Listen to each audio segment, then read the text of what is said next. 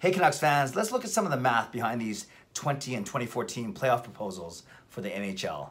I'm Clay Imoo, I'm at Canuck Clay on Twitter, I'm at Clayton Imoo on Instagram, I'm the founder of the GLCPC, the Good Looking Canucks Positivity Club, and this is my Canucks take, all in one take. It's Clay's Canucks commentary for Tuesday, May the 19th. You may recognize the background.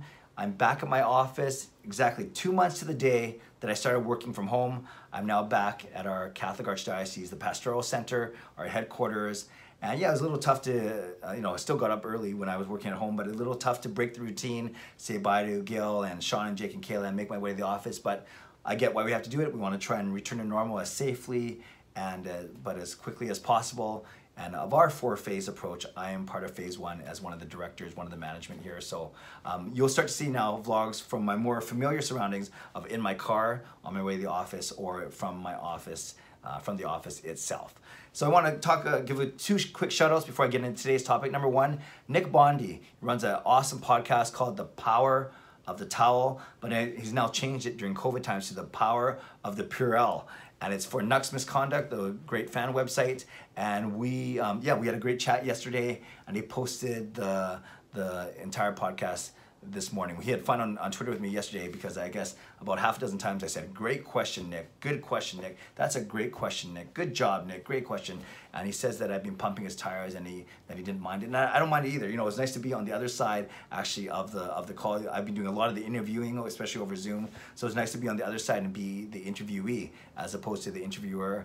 And uh, I thought Nick did a really, really good job. So I'll, I'll link to that down below and I've also retweeted already. So make sure you check out that podcast if you can. The Power of the Purell for Nucks Misconduct by Nick Bondi. Later today, I'll be with Vancouver Sports Fan. Um, I think uh, his Twitter handle is at Vancouver Fan or at Fan Vancouver. I'll make sure I get it right and he's a, wonderful guy named Dave. He lives in Montreal, but he does a lot of Canucks vlogs. He's got a smaller channel that's that's starting to grow a little bit, so I want to support him, and I'll be uh, appearing with him today. So I'll link to his, uh, you know, I'm, I'm, sure I'll be talking about tomorrow on my vlog, but I'll link to his channel down below as well. That's again Dave, Vancouver sports fan on YouTube, and uh, we're gonna be doing a, a, collab tonight. So I'm looking forward to supporting him and, be, and working with him on as we grade the the top six forwards, the top four D men, and the two goaltenders for the Vancouver Canucks this season. Okay, want to do a couple quick COVID updates uh, and talk about the NHL.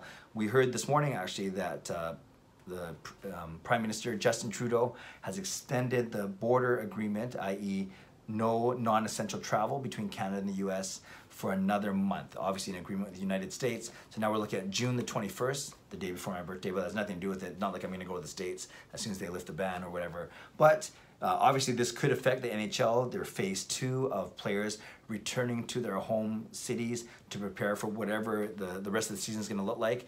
Now, they, the NHL has been quick to say they hope that this doesn't, they don't expect this to affect their plans for their phase two. But obviously, the first thing that we think of when we hear borders are going to be shut down for yet another month, that extension of a month, you wonder how our players can return to their home cities, especially if they are in other countries uh, that their home city isn't in, i.e., a Swedish player trying to get to uh, trying to get to uh, Canada, or, or more importantly, I guess, because the border agreements between Canada and the States, uh, any many of the players, i.e., for the Vancouver Canucks that live in the States, that need to get up to Canada uh, and similar, uh, vice versa. Any Canadian players, uh, players born, uh, living in Canada that need to get to their American-based teams. I don't know why I gave that Sweden example. That's nothing with Canada, U.S., but you know what I mean. So that will be an interesting thing to keep an eye on as the NHL looks to uh, move into their phase two.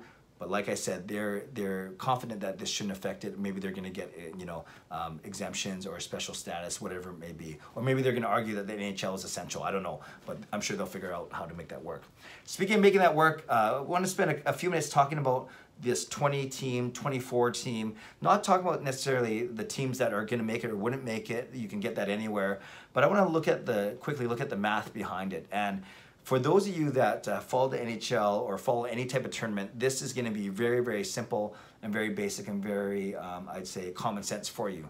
But there are a lot of fans out there that um, maybe uh, only follow the NHL or they don't know the math behind the, the 16, the 20, and the 24. So without insulting anyone's intelligence, I think is really important to go over because, um, yeah, because it's going to dictate, it's going to explain why the NHL is thinking what they're thinking. So we know that traditionally it's a 16 team playoff.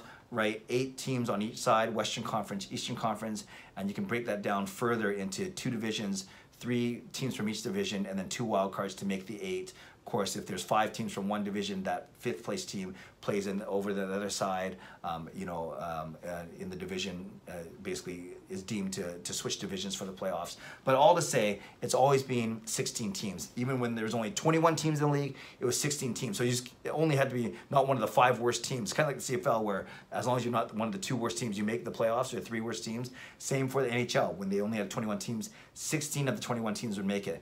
Now we're up to 31 teams, and it's still 16. So now it's better. It's exactly basically half the league. So you can't be you can't be in the bottom half, and it makes it a lot tougher to get in the playoffs. So 16 is the magic number because obviously if you if you think it through, 16 goes down to eight, goes down to four, goes down to two, goes down to one. So four rounds, 16 to eight, eight to four, four to two, and two to one name a champion. That's why you have four rounds of playoffs.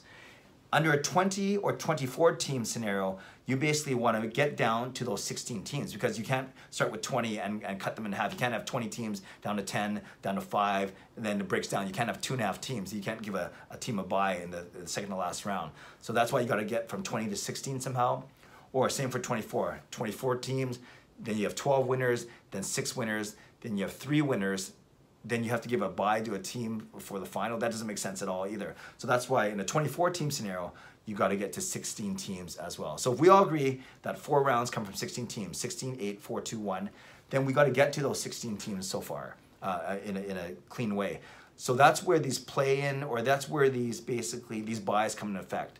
With a 20 team playoff, you would basically have, um, you base, you got to get down to 16. So that means in essence, uh, the first 12 would get in, and then the other eight teams would play for four spots. So 12 would get in, that means maybe maybe six on each conference. We, we won't get into how they're gonna determine it, but I just wanna go through the math. So 12 would get in, that means teams 13 through 20, eight teams would play down to four spots. So now you have the 12 that got a bye, and then the eight teams are going down to four, and there's your teams 13, 14, 15, and 16.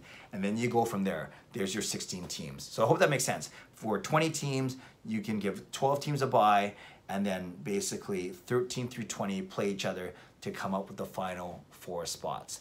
That is one way to do it. Um, you know, if you try and do it, uh, if you try and give fewer byes, let's say you only give, instead of 12 teams, you only give, uh, you give eight teams a bye, and then that leaves 12 teams to play for six spots. That math doesn't add up, right? You have eight plus six, that only gives you 14 teams, right? If you have 12 playing down to six. So that's why that makes the most sense, is simply eight teams to play in for four spots. If you go with a 24 team playoff, which sounds, sounds like what's gonna happen, then what you do there is you give only eight spots as byes, four on each side or whatever, but eight spots, and then that, that means teams nine through 24 right? You got those 16 teams, they play down to eight winners. So you have the eight byes, and then you have eight uh, winners to make your 16. So again, that's eight teams with a bye, and then the remaining 16 teams of the 24, they play down to eight. Eight plus eight makes 16. So no matter what, in the 20 game scenario, 20 team scenario, or in the 24 team scenario, you want to get down to um, 16 teams.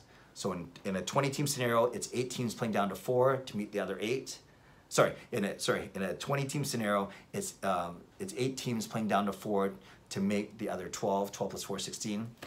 In a 24 team scenario, it's um, it's 16 teams playing down to eight to meet the other eight. Eight plus eight makes 16. So I hope that makes sense. I hope that wasn't too confusing. Um, especially that's the, I guess the challenge of doing these videos in one take is I don't have a chance to put graphics up and, and nice fancy, you know, spreadsheets and whatever. I'm just gonna ask you to trust me on that math. The last thing I wanna say about math is we've been hearing about four hub cities four host cities. Vancouver is one of the seven or eight finalists, which is pretty cool, along with teams like Toronto, cities like Toronto, Edmonton, Vegas, Minnesota, so on and so forth. But now we're hearing instead of four hubs with six teams each, for instance, if you go 24 teams. Now they might only go two hub cities with 12 teams each. So another little math uh, riddle there, not even a riddle, but something to consider is if they go with only two cities, then you have 12 teams there in a 24 team playdown. And then if they go with four cities, then you have six teams. So obviously by, by cutting the number of cities in half, you're doubling the number of teams that will be there. So that's also an interesting thing to keep an eye on. So there we go, Canucks fans. Just want to lay that out for you. Question of the day is, do you prefer a 20 or a 24 team play uh, play down, play in, whatever it may be. We can talk about byes. We can talk about matchups later once they decide what they're going to do. But I just want to lay out some of the thinking. Do you prefer a 20 team play in or 24 team play in? And then all the math that goes from there. Leave a comment below. I love to read, react, and reply as always. Subscribe if you like to. Like this video if you like to. Check out the, the podcast, Power of the Purell. I'll link that below. And then check out my video whenever um, you know Vancouver Sports Fan gets us out uh, later in the week. That the one that we're collabing on this week uh, tonight. I will uh, tweet that out when that comes out as well. So, a couple things for you to consider: stay safe, stay healthy, take care of yourselves and of each other. God bless, and go Canucks go.